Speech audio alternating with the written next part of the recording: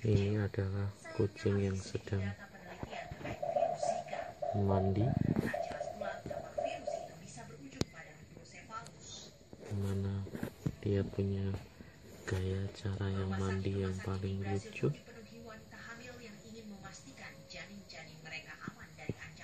Anda bisa lihat lebih dekat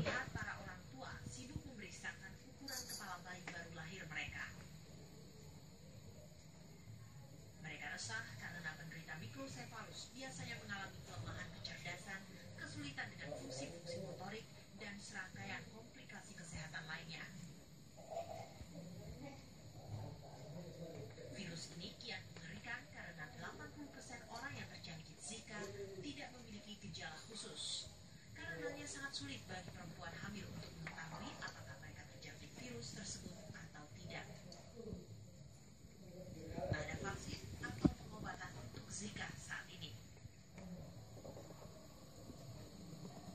Gejala klinis Zika biasanya